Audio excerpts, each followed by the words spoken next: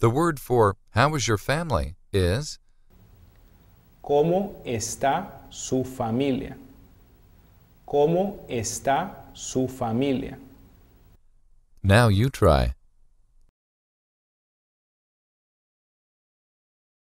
¿Cómo está su familia?